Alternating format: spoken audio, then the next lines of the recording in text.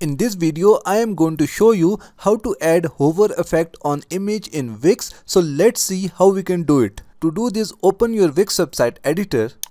Now from the left menu, click on add elements. Select box from here and then click hover boxes. Here we have multiple hover boxes templates that we can use on our website. So we are going to select this one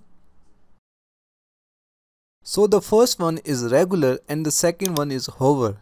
So if you want to change these images, just select the image and then click on change image. Now click on upload media, upload from computer, select the image and then click on open.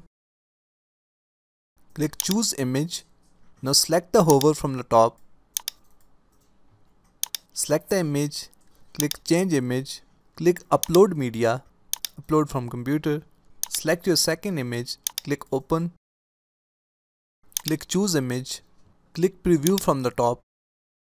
And now if I hover over my image and as you can see that it is now changed. So that's it for today. Thanks for watching. Please like and subscribe.